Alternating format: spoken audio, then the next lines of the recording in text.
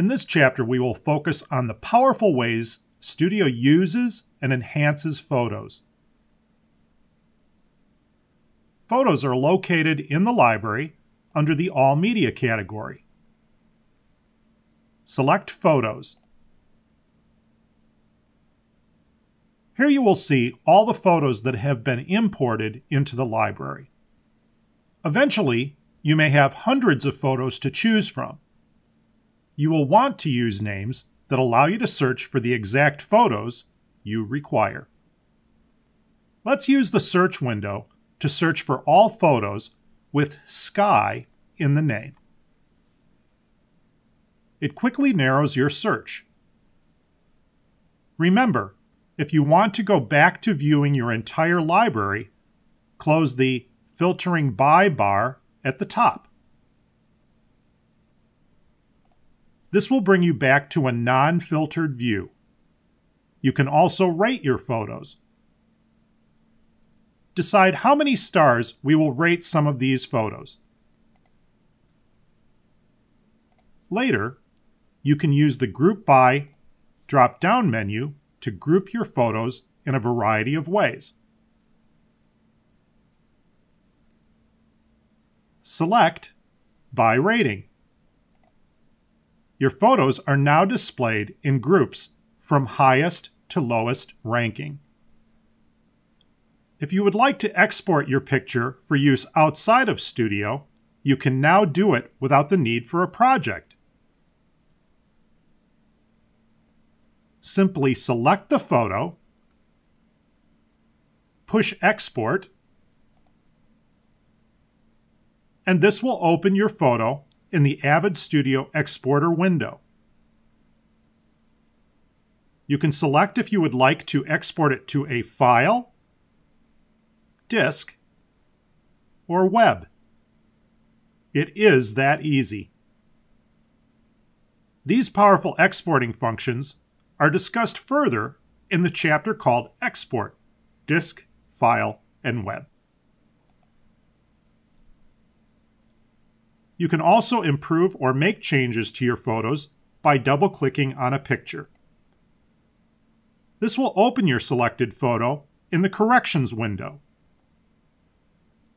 You will see buttons that allow you to enhance, crop, straighten, or remove red eye from your image.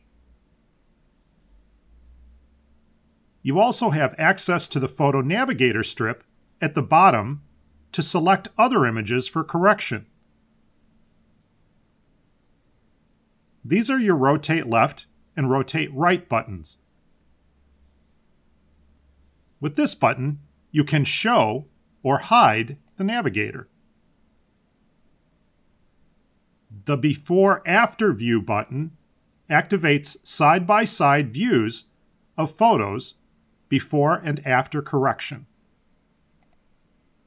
Let's make some corrections. Crop the photo using the Crop button. Adjust the handles to cover the part of the image you want to leave. Click Preview.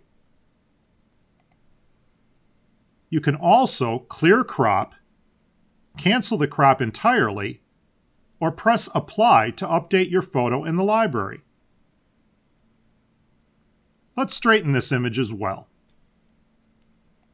Straighten allows you to rotate your image if you want to change the horizontal plane of your photo. Simply grab and rotate the image the desired amount. Click Apply, and your image is now ready for use in the library.